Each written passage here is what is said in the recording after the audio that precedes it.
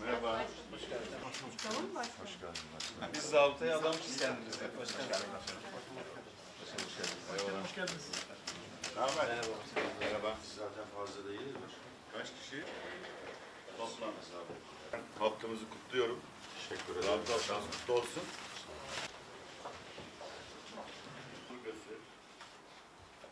Bulmasında çok önemli parçasınız. Bizim için çok önemli bir birimsiniz. Bu anlamda haftanızı kutluyorum. Tabii böyle e, sembolik oluyor kutlamalar.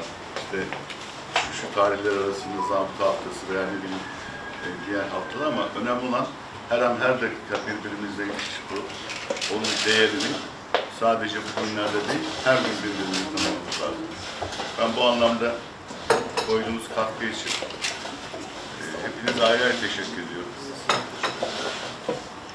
Biliyorum göreviniz zor. 7-24 çalışıyorsunuz. Gece gündüz vatandaşla karşı karşıyasınız. Vatandaştan gelecek bütün olumsuzlukları da sizler gözüküyorsunuz.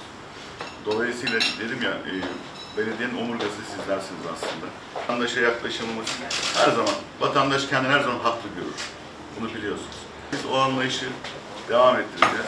Farkındalığımız olmalı.